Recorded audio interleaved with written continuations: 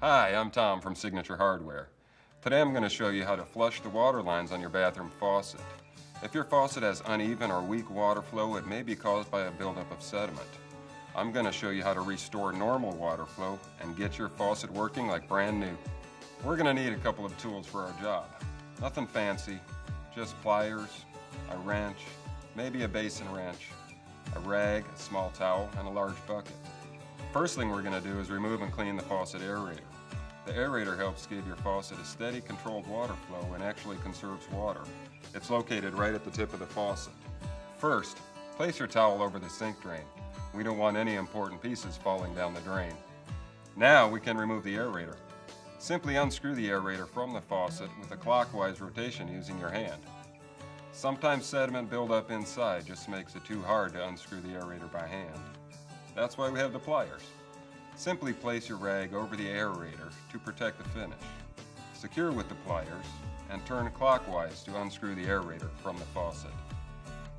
The aerator is made up of several parts. Usually a rubber washer, a filter, a housing that connects the whole thing to the faucet.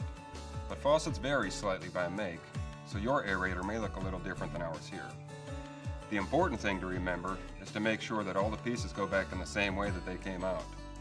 Line the pieces up on a cloth so you don't get them mixed up. Then rinse them off one at a time to remove any sediment that may have built up.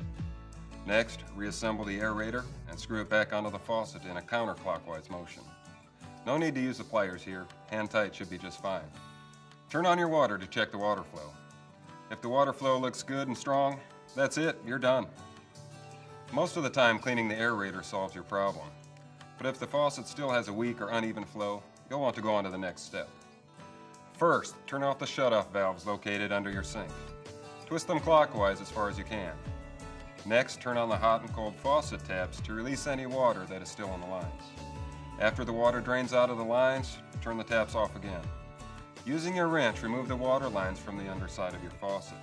Depending on your type of sink, the water lines may be difficult to access. In this case, you'll need a basin wrench to loosen and remove them. Place them both in your bucket. Next, open up your shutoff valves and let the water flow into the bucket for about 30 seconds. Close the shutoff valves again and reattach the water lines to the faucet. Use your wrench to make sure that they are tight. Just a little more than hand tight is fine.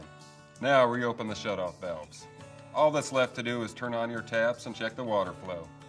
If you have any questions, visit signaturehardware.com or call customer service at 1 866 855 2284.